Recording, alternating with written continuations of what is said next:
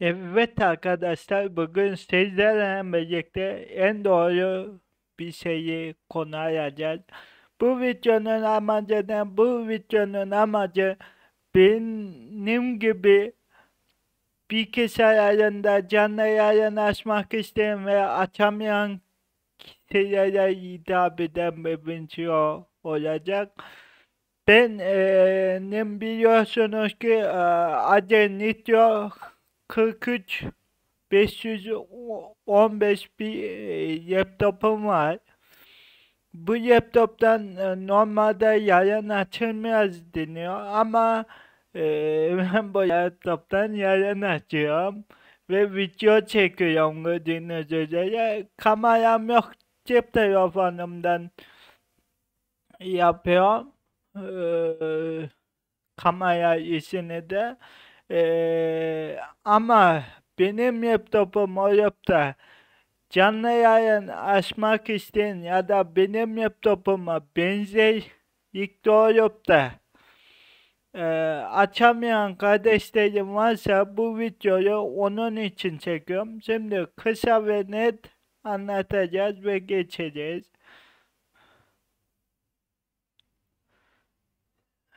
Dur bir inecekten atı evet. Şimdi gördüğünüz bu OBS. Bu platformda canlı yayın, video çekimi falan filan fistak isteği yapılıyor. Ama ee, hani bunu istemci harcaması istemliğe yük bindirmesi, ekran kartından hem oyun oynayıp ee, video çekmek çok zor. Ee, çok zor ee, ama ben bunu başardım. Bayağı yıkadım, hala falan bayağı uğraştım diyordum, çılgın oldum. Ama e, Bunda sorunsuz bir şekilde artık videoda çekiyorum yayında açıyorum. Hani sorunsuz bir şekilde açıyorum. Bunu sizin de açmanızı istiyorum. Şimdi gelecek o beşi aramıza. Abicim o beşenin geneline hiç dokunmayın diyor. Geneline hiç dokunmayın dekene ben dokundum neyse. Gene oynamayın gene gene de kalsın. Yarın da ben Twitch'te yarın açtığım için e, yarın e, şeyini buradan veriyorum, bağlanıyorum. Bant genişliği test etme modunu yetkinleştiriyor ya da yarın hizmetleri ayarlarını önerilen yerleri yoksa yani bu ne demek? Diyor ki sen Twitch'e atıbim bitet yarın verebilirsiniz. Şimdi ana konuya birden dadım ama biteti anlatacağım. Atıbim bitet yarın verebilirsin. Ama bunun daha üstüne çıkmak istiyorsan internetten de izin veriyorsa önerilen ayarları yoksa şu bat genişliği test modu ise e, şey olarak geçiyor arkadaşlar e, yani yayın açmadan evvel bir test edeyim ayarlar tıklayın ama bir yarım saatte olsa bir canlıya basıyorsunuz. Yayına giyiyor gibi yapıyor ama yayında değilsiniz. Sadece ayarları test etmek amacına. Bitrate kısmına da gelirse sizin internetinizin yükleme mesafesi. Mesela benim internetimin yükleme şeyi 20 e, update 20 update yükleme hızım var. Ee, bu yükleme hızında ben 6000, 7000, 8000 o civarlara zorluyorum. Ve daha fazla vermeleri gerek yok çünkü 8000'de yetiyor, 6000'de yetiyor. Ee, ve bunun çözünürlükten de alakası var. Mesela 1080 veriyorsan artı 1000 bitrate ya da 7000 bitrate mecbur vermek zorundasın ama 720p veriyorsan 4500, 3500 o civarlarda vermek zorundasın. E benim internetim ev verdiği için ben 1080'de e, 7500 bitrate verebiliyorum. Bunu da açıkladıysak diğere geçeceğiz. Çıkış. Çıkış kısmı bazı ben izledim ekran kartı için şu anda video çektiğim için e, şey olmuyor ama ekran kartı için e, ya da bazı ekran için e, basitleri de hmm, özel ayar yani daha detaylı ayar yapma kısmı var burada. Ben ben de hep basitte duruyor. Ben hep basitte koyan daha detaylı yapma kısmı var. O kısım açılıyor. Açıp da daha detaylı gecikmelerini falan verebiliyorsunuz da benim hiç bir şekilde hani e, şey olmadı ya ben de e, yerleşmedim. Hep basitten bitirdiğimi çaktım. Donanımını çaktım gitti. Şimdi video bit hızı dediğim şey bu. Bakın ben burada 8000 vermişim. 7500 diyordum 8000 vermişim. Ve e, internetinizin yettiği kadarıyla ve video kartınızın 720p'de mi yayın çekmeye hazır ya da 1080'de mi hazır bunu e, bilmeniz gerekiyor. E, aşağıdaki set bit hızı onu hiç elemedim. O, o gedi gibi duruyor ve video kodlayıcı. Burası çok önemli. Şimdi hmm, bazı e, hani YouTube e, mesela AMD e, virgül H, E, V, C kodlayıcıyı destekliyor. Twitch AMD H nokta 264'ü destekliyor. E, e, hani e, bu seçtiğiniz platformla alakalı bir şey, ekran kartıyla alakalı değil demeyeceğim ekran kartıyla da alakalı ekran kartıyla nasıl alakalı? Şimdi ben bunu donanım AB, AMD virgül H264'ü seçtiğimde e, daha çok ekran kartım zorlanabiliyor ya da daha çok şey yapabiliyor. İstemci de var. Ama istemciyi hiç seçmedim çünkü istemci de çok daha boğaza geliyor. İstem olduğu için ekran kartım yeterli oluyor. Ee, yani Nvidia ise Nvidia, AMD ise AMD. Zaten kodlayıcılar çıkıyor. Ha bu kodlayıcıda Haç 264'te Abi e, bir FPS oyun oynuyorsunuz yani çok hareketli bir oyun. Yandaki hani o bir yandaki bir anda döndüğünüzde oradaki pikselleşmeler, oradaki şeyler çok na e, çok belli. Ama AMD H, E ve seçseniz onda mesela video çekerken ben AMD'nin hiç 200 adım bunda olmuyor ama o e, Twitch bu kodlayıcıyı e, seçtiyse mecburen bu kodlayıcıyı çekiyor. Hani bunu platformla ve ekran kartıyla alakası var. Alakası çok var. Ekran kartınız kuvvetli değildir. İstemciyi seçerseniz o e, çok değişik bir konu. Kodlayıcı hazır yani bu da diyor ki kodlayıcının abi seçimimi kodlayıcının 3 farklı ayarı var.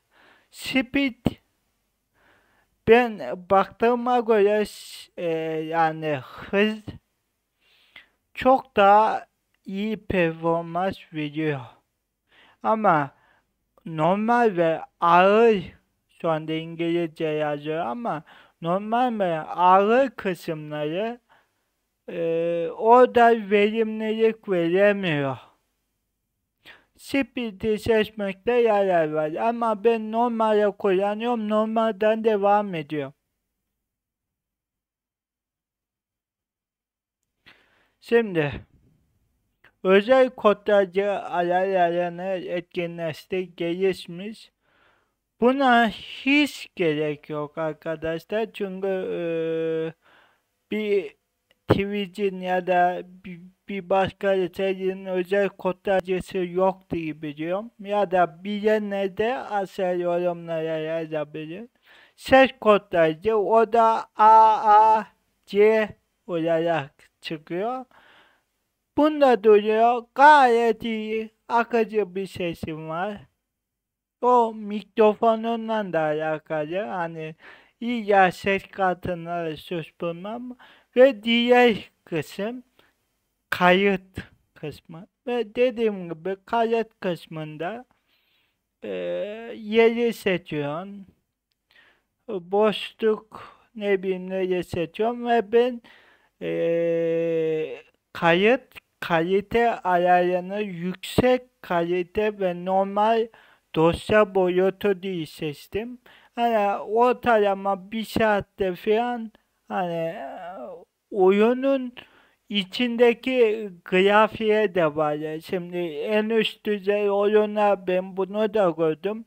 En üst düzey oyuna gittiğim zaman e, en üst düzey grafikli bir oyuna gittiğim zaman buradaki dosya boyutu kodlama ve e, o çizimleri yapması için dosya boyutu e, benim yarım saatte ya da 30 dakikada bir video vardı.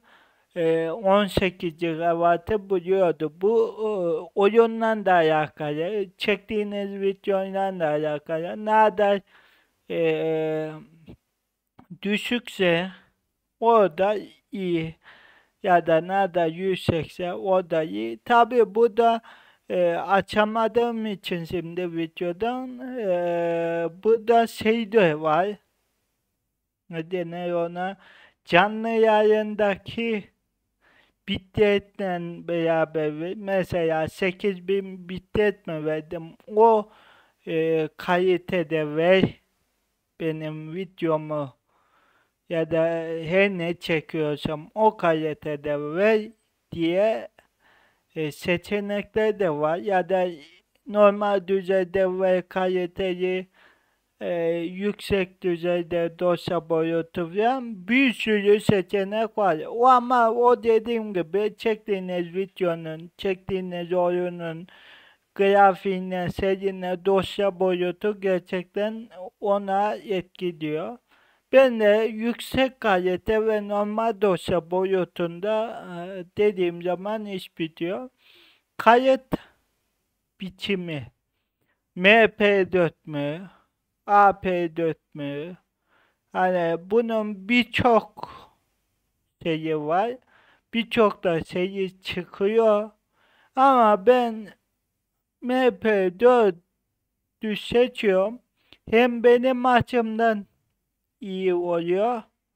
YouTube'da da şu anlık MP4 açısından bir zararını almadım. Ha dosya boyutu olarak aşağıya mı çeker, yukarıya mı çeker onu da bilmiyorum. Ama benimki MP4 olarak gidiyor.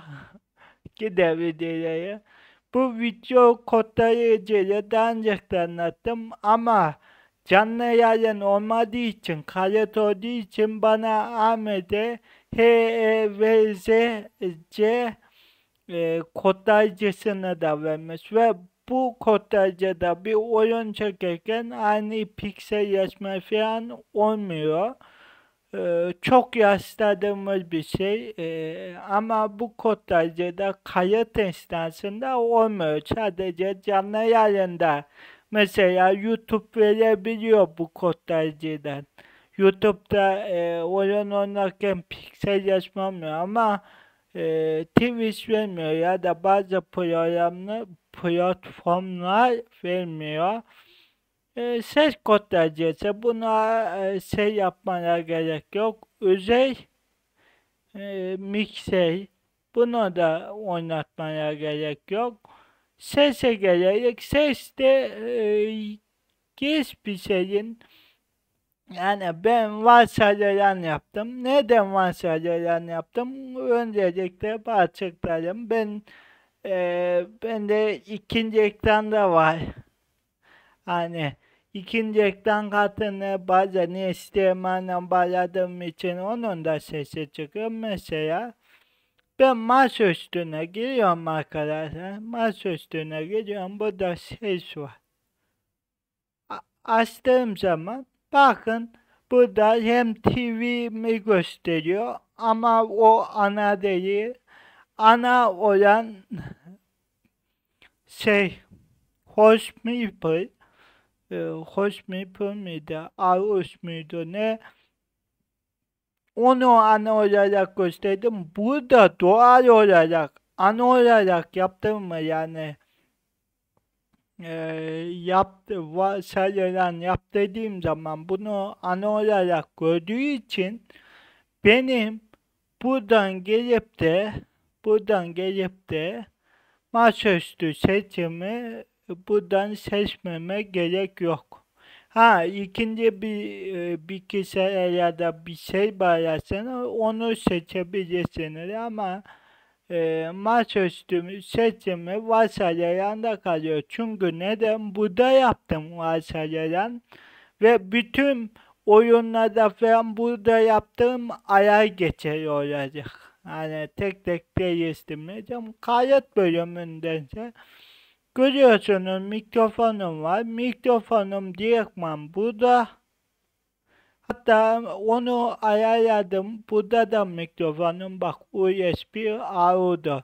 Bunu da varsayarak yapabilirim. Çünkü burada yapmışım. Bunu da açıkladıysam güzel bir dinin e, videoya geçelim. Burası önemli bir nokta. Şimdi ben bu bilgisayarda ya da başka bilgisayarda bilemiyorum. Anlamadığım konu şu. 720p ile 1080p. Şimdi herkes 4K, 2K o civarlarda gezerken sen de doğal haldeyken 1080'i vermek istiyor. Ama buna dediğim gibi dosya boyutu da ekleniyor. Ee, canlı yayın esnasında o kod verici de ekleniyor. Bunu kaldırmıyorsa kodlayıcı veremiyorsun. Hani bunu kaldırmıyorsa veremiyorsun. Şimdi ben bir takım ayarlar yaptım. Mesela ne gibi? Ekranım 1080.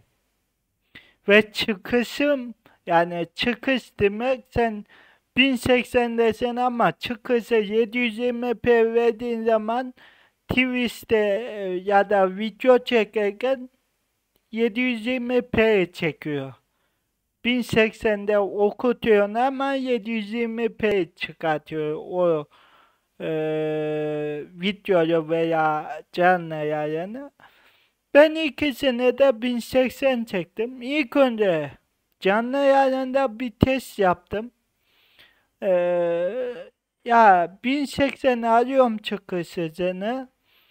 Canlı yayına başlıyorum yine 60 ortalama FPS değeri 60 olarak kalıyor. Canlı yayına başlıyorum. Bir ya da iki saat sonra e, aşağıda kodlayıcı sıkıştırılmıştır diyor. Yani istemdimce daha bozuluyor, kodlayıcı da daha bozuluyor. en çok kodlayıcı da boğaz olduğu için ben bunu mesela 1080p yapıyorum ama yayına geçtiğim zaman bu yer 60 derecede 30 fps yaptığım zaman gayet güzel bir yayınım oluyor. Hani gayet güzel bir yayın açıyorum. Ee, ha, 30 yine 1080 veriyorum ama e, FPS değeri farklı oluyor. Bu konuya bir çözüm ben getiremedim. yani 48 FPS'yi denedim, 50 FPS'yi denedim. Hepsinde daha baz oluyor ama 30 FPS'de kayıcı ve akıcı canlı yayın açabiliyorum. Ama videoya geçtiğim zaman bunu 60'a çıkıyorum. 60 FPS kare hızında ee, bir video çıkartabiliyorum şu andaki olduğu gibi de. Klavye. Ben bu yaya eskiden ayakla çok kullanıyordum. Neden çok kullanıyordum? Kayıt içinde yazıyordum. Mesela kayıt başlat, kayıt dur. Buraya tuş atıyordum. Abi hemen yani videoya geliyordum. Hemen başlıyordum. Olup bitiyordu. Buraya çok kullanıyordum ama şimdi kullanmıyorum. Neden bilmiyorum.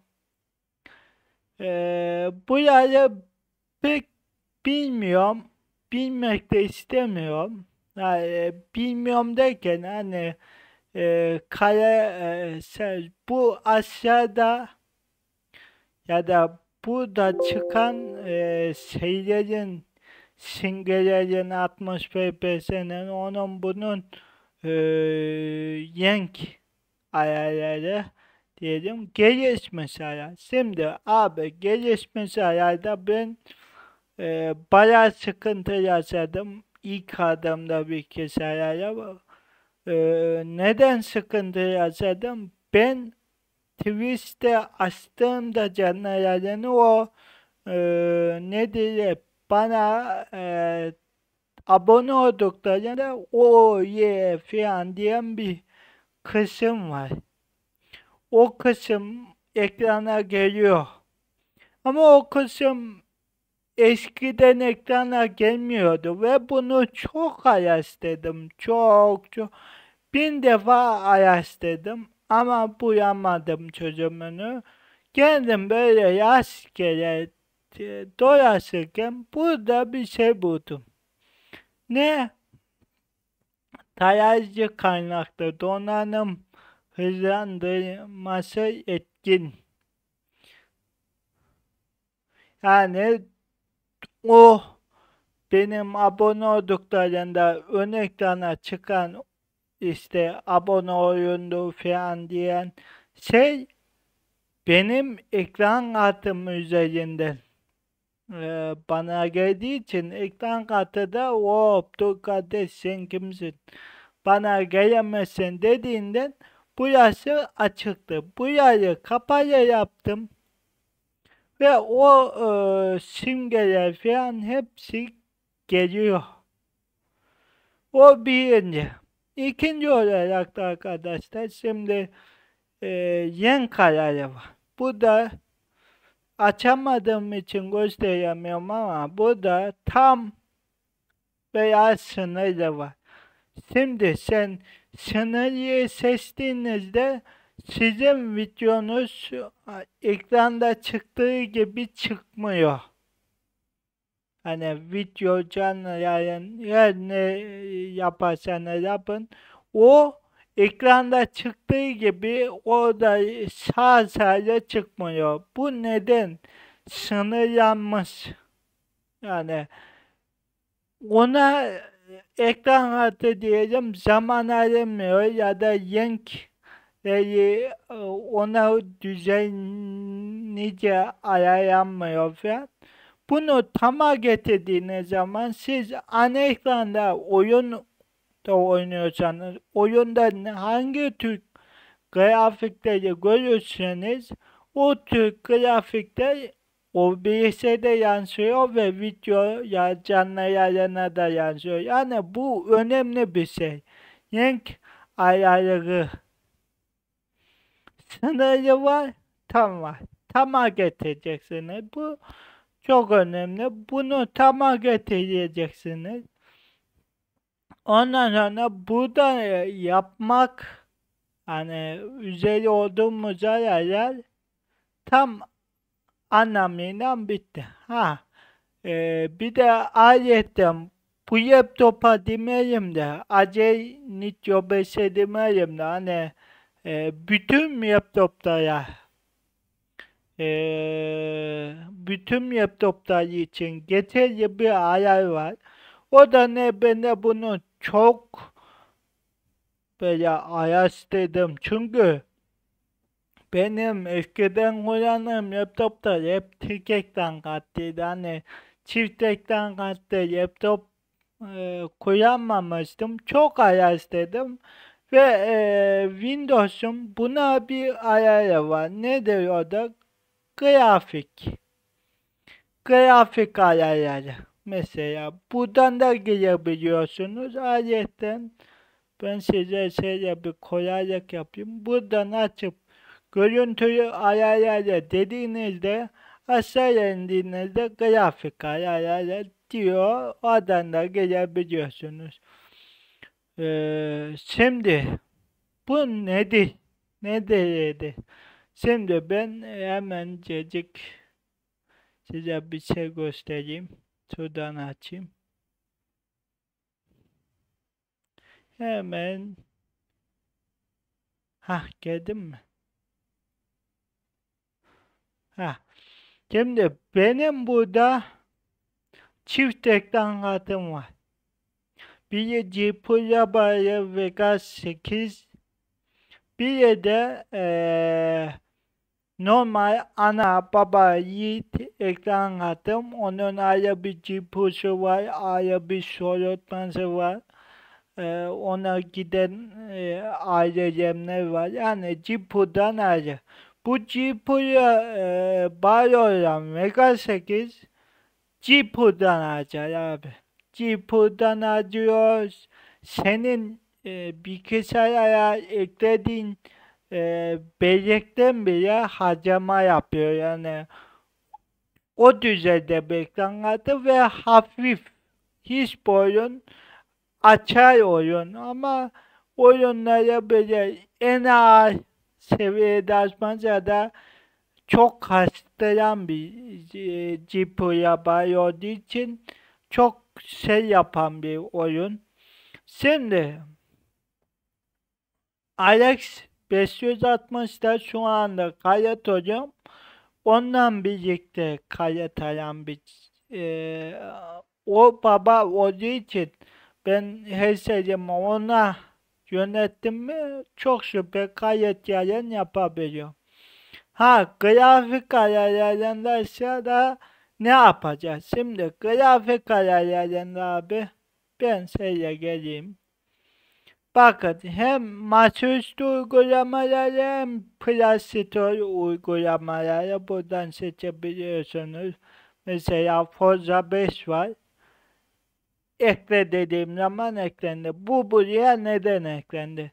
Diyor ki bak grafiklik grafik e, performansı için ne tercih ede ediyorsunuz diyor.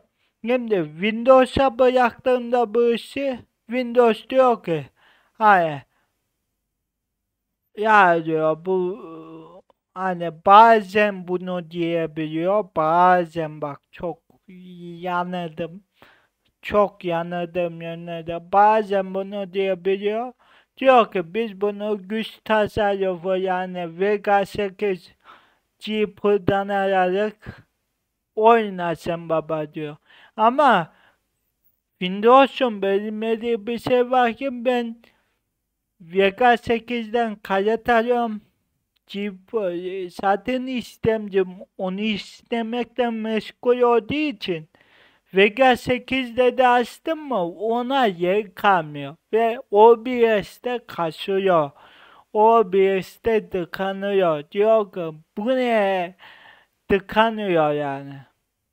Şimdi abi bazen bak geçen oldu geçen e, kafamı e, dağıt, dağıttığım bir oyun diye video çektim. Şimdi bu oyunu Xbox'tan indirdim. Xbox'tan indirdim. Ağır bir oyun kendisi. Hiç de düşünmedim hani bunu Windows Vega 8'de oynatacağını düşünmedim. Açıyorum oyunu.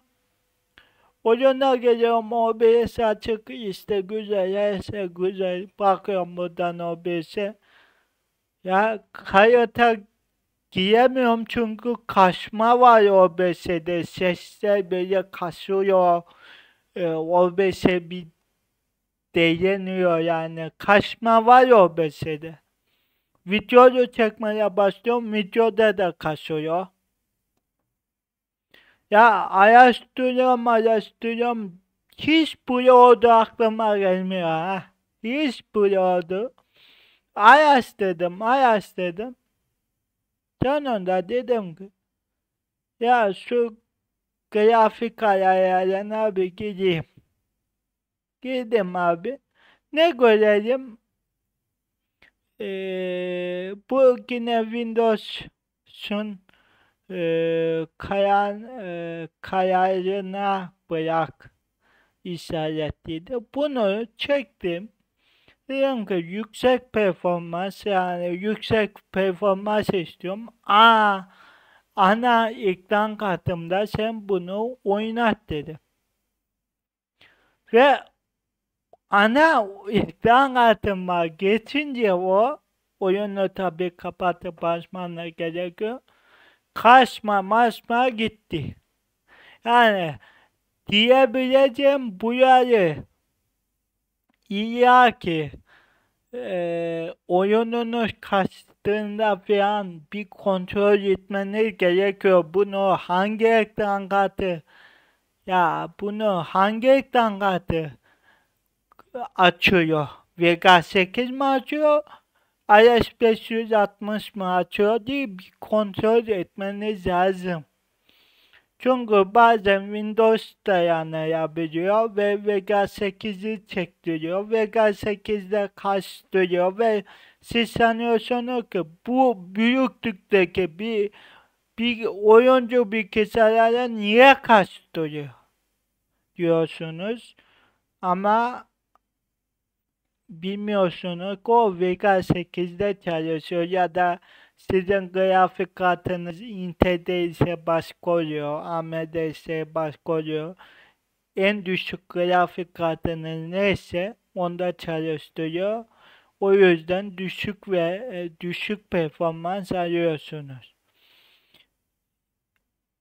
Bu sadece laptoplarda oluyor ve ben buna çok takındım. İlk OBS'yi yüklediğimde Hani bilginiz olsun bu ya aklımda bile yoktu yani araştırırken buldum ettiğim bir şey. Hani normalde Nvidia'da abi geliyorum buraya oyunun bu mu?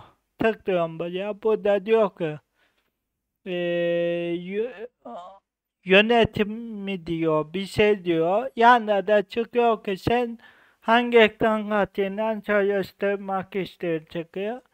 Aradan seçiyorsun işte Nvidia'da ama AMD'de böyle şey olunca çok bana e, şey etmedi hani aklıma gelmedi. Bunlar bir bilgi değil arkadaşlar. Umarım siz de benim gibi yayın açmak istiyorsunuzdur ama benim gibi bir elinizde laptop vardır ve açamıyorsunuzdur. Bir sürü sorun çıkmıştır. Umarım bu videomda bu sorunları giderirsiniz benim videomda. Ee, ki bir şekilde size yardımcı olabilmişimdir. Yani bu sorunlar olup da benim videomda giderdiklerinde çok seviniyorum. umarım yardımcı olmuşumdur. Yani bir öncekinde nasıl çok kuvvetli performans ayarı videosu çektiydim. Şimdi de bunu çekiyorum. Çünkü e, arkadaş benim çektiğim sorunları başkası ya da başka e, insanlar başka insanlar çeksin e, istemiyor. Hemen biz artık e, kaçıncı yüzyıldayız. Hemen istediğini bulsun istiyor. Sorun çekmesini istiyorum. Buna yayıncısı da olur, kayıtçısı da olur, osu da olur, busu da. Ama dediğim gibi bilgi paylaşmanca yok olur gider. Bilgiyi paylaşman lazım. Ben burada bunları öğrendim ve sizinle paylaştım. Bu e, paylaşmasam benden yok olup gidecekti. Ben de e, hani e, bazı insanlar bunları bile yapamıyor. Yapamayınca zor durumda kalıyor. Bunlara yardımcı olmak niteliğinde bir video çekmek istedim. Ve çektim herhalde. Başladım. Neyse. Ya bu çok uzatıyorum ben ya. Hoşçakalın. Var olun sağ olun. Sebebi maaş tıklayın. Bye bye.